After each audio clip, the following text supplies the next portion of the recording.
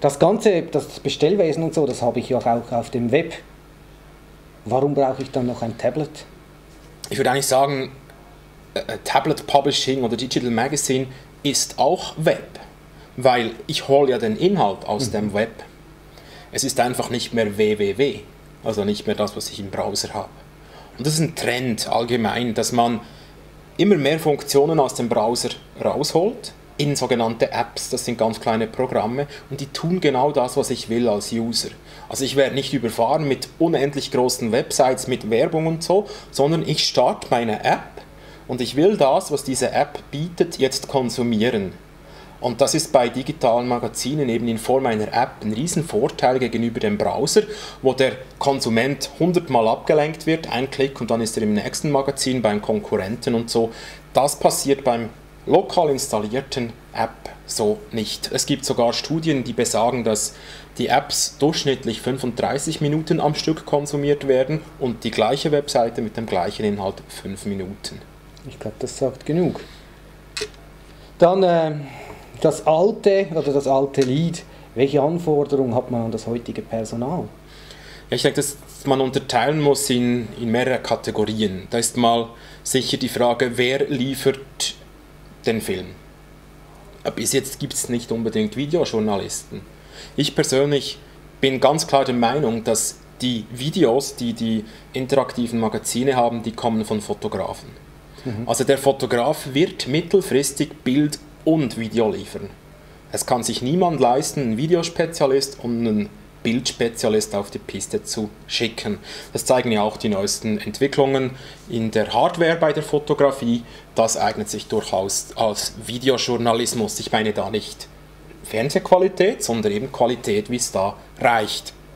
Dann gibt es natürlich die Techniker, die es jetzt auch gibt. Und diese Techniker müssen schauen, wie bringe ich den Workflow fürs digitale Magazin in den bestehenden Print-Workflow rein, damit da nicht super viel mehr Aufwand geschieht im Ablauf.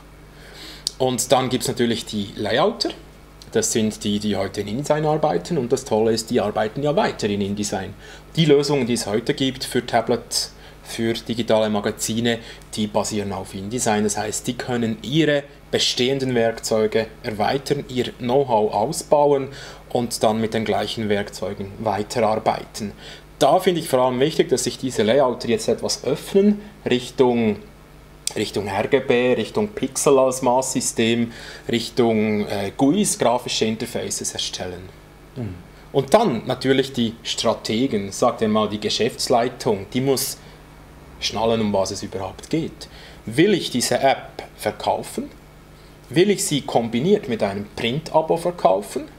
Will ich sie kombiniert mit einem Endgerät verkaufen? Also schenke ich dir ein iPad, wenn du mein, Vielen Dank. wenn du mein, mein Magazin zwei Jahre abonnierst? Oder will ich eine reine digitale Ausgabe machen, die auch kostet? Das sind Überlegungen, wo man jetzt die Weichen stellen muss und ich empfehle ganz klar nicht diese gratis kostenlos Strategie ja. zu verfolgen, wie sie im Web leider gemacht wird. Mhm.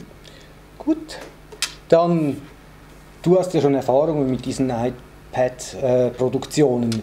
Wie sehen die genau aus?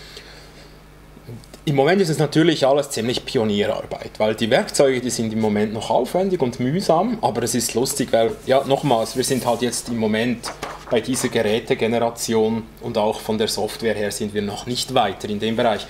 Aber was ich feststelle, es kommt sehr rasch eine Riesenfreude auf bei den Leuten, die das produzieren, weil die Leute sehen, direkt, was sie machen.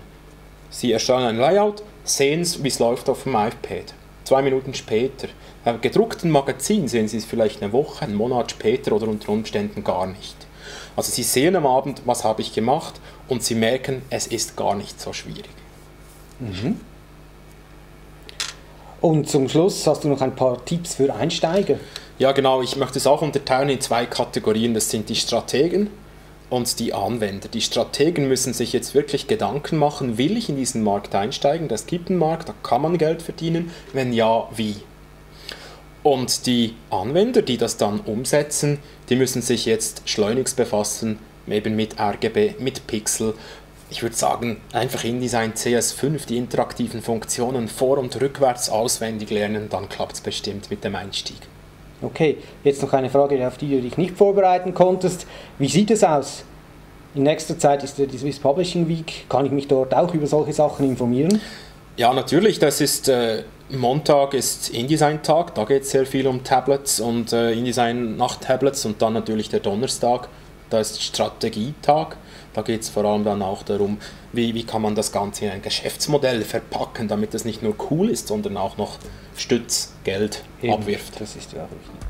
Herr Möhlich, vielen Dank für das Interview und ich gebe zurück ins Studio.